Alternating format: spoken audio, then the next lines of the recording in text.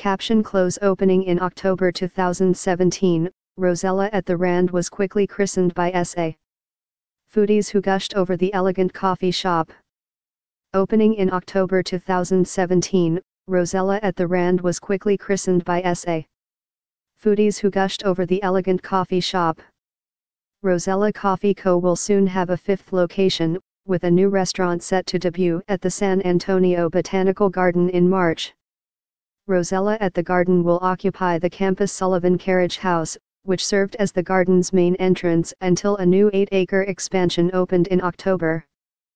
We are excited about the expansion at the garden and happy to be a part of its continued growth, Rosella owner Charles Gonzalez said in a media release we are ready to make the carriage house an inviting venue not only for garden visitors but also a neighborhood spot for residents. Related, Winchester, now open in space, once home to original Lion and Rose restaurant and pub. The 3,000 square foot carriage house is currently being converted into a dining room, coffee shop, and wine bar with indoor and outdoor seating.